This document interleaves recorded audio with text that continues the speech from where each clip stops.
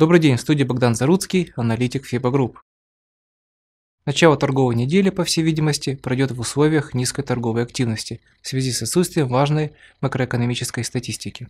Скорее всего, в понедельник участники рынка займут выжидательную позицию.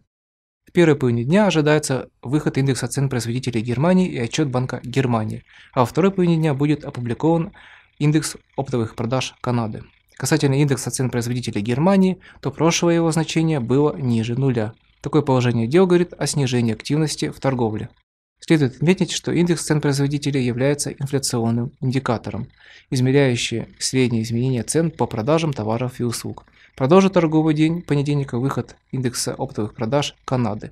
Это один из главных индикаторов потребительских расходов, который определяет стоимость проданных товаров оптовиками. Вероятнее всего, этот показатель не сможет оказать серьезного влияния на ход торгов на американской сессии. На сегодня все. Удачи вам, берегите себя. Помните, вера в себя открывает путь в удивительный мир возможностей.